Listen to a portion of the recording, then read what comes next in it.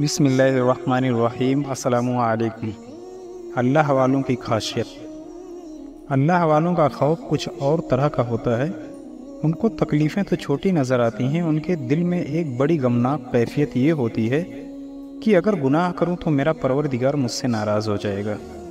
मोहतरम हजरात, जिससे रब करीम नाराज़ हो गया, फिर दुनिया में उसका कोई ना बचा। उसने सब कुछ बर्बाद कर दिया। अल्लाह वाले अल्लाह की नाराज़गी से डरते हैं। वो अगर बढ़ चढ़ कर इबादतें भी कर रहे होते हैं तो उन्हें फिर कदम कदम पर यही डर रहता है कि वो बेनियाज परवरदिगार हमारी इबादतों को कहीं मुँह पर ना मार दे। हदीस पाक में आया है कि रियाकार लोगों की इबादतों को अल्लाह ताला उनके मुँह पर फटे हुए कपड़े की तरह मार देते हैं। रातों को जागने वाले कितने ही ऐसे होंगे कि रियाकारी की वजह से अल्लाह ताला क़यामत के दिन इन रातों के अधेरों को उनके चेहरों पर मल देंगे।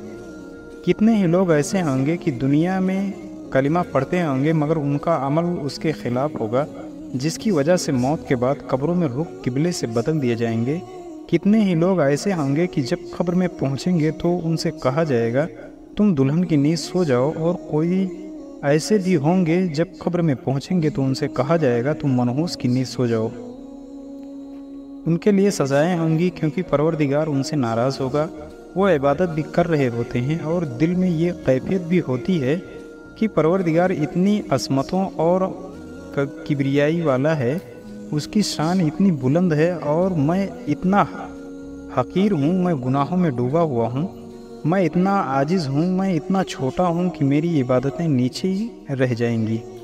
मेरी इबादतें इस काबिल नहीं कि परवरदिगार की जानब तक पहुँचें। उनके दिल में ये खौफ होता है कि अगर मेरी इबादतों की तरफ़ परवरदिगार ने नज़र ही ना उठाई तो मेरा क्या बनेगा? मेरी इबादतों के लिए आसमान के दरवाज़े को ना खोला गया तो क्या बनेगा? इसलिए बड़ी बड़ी इबादतें करके परवरदिगार को राज़ी करने वाले मुकर्रबीन सारी सारी रात इबादत करते रहे। चालीस चालीस साल ईशा के वज़ू के साथ फजर की नमाज़ें पढ़ते रहे। इसके बावजूद जब उनको बैतुल्ला शरीफ की ज़ियारत के लिए जाना नसीब हुआ तो तवाफ़ करके मुकाब इब्राहिम पर दो नफल पढ़े और इसके बाद हाथ उठाकर यूँ दुआएँ मांगी अल्लाह, हमने तेरी इबादत का हक़ अदा नहीं किया जो हमें करना चाहिए था। अल्लाह, हमें तेरी मारिफत जैसे हासिल करना चाहिए थी, हम उसको हासिल नहीं कर सके। सुबहान अल्लाह ये उन हजरात की मुनाजात है जिनकी ज़िंदगियाँ फूलों की नज़ाकत से भी ज़्यादा अफीफ गुजरी। कामिलीन हजरात इतनी इबादतों के बाद अल्लाह ताला के सामने अपना दामन फैला कर कहते थे अल्लाह, अगर तू कबूल कर ले तो ये तेरा फजल और एहसान है, और अगर तू रद्द फरमा दे तो ये तेरा अदल होगा। दुनिया में होने वाले वाक़ात उनकी नज़र में हर वक्त रहते हैं।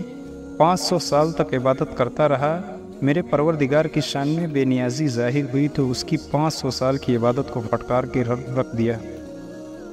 फिर उसका हसर कुत्ते की तरह कर दिया और उसका तस्करा कुरान में यूँ फरमाया, उसकी मिसाल तो कुत्ते की तरह है अल्लाह, तू अगर चाहे तो पाँच सौ साल की इबादत के बाद कुत्ते की तरह हसर कर दे और अगर तेरी रहमत जोश में आ जाए तो फुजैल बिन आयाद रहमतुल्लाह अलैह को डाकुओं की सरदारी से उठाकर वलियों का सरदार बना दे। जब इंसान का नफ्स रियासत की भट्टी में पक कर कुंदन बनता है तो यह गुनाह करने से डरता है खौफ खाता है, जैसे कोई इस बात से डरता है कि बादशाह मुझसे नाराज़ ना हो जाए और कोई गलत काम नहीं करता। इसी तरह बंदे के दिल में जब खासियत इलाही पैदा हो जाती है तो अल्लाह रब्बुल इज़्ज़त से डरता है कि कहीं वो मालिक नाराज़ ना हो जाए। इसी को आरिफीन का खौफ कहते हैं। इस बयान को अपने दोस्तों और जानने वालों को शेयर करें, ताकि दूसरों को भी आपकी ज़ात और माल से फ़ायदा हो और यह आपके लिए सदक़ ज़ारिया भी हो जाए। क्या पता अल्लाह ताला को हमारी ये अदा पसंद आ जाए और जन्नत में जाने वालों में शुमार कर दे।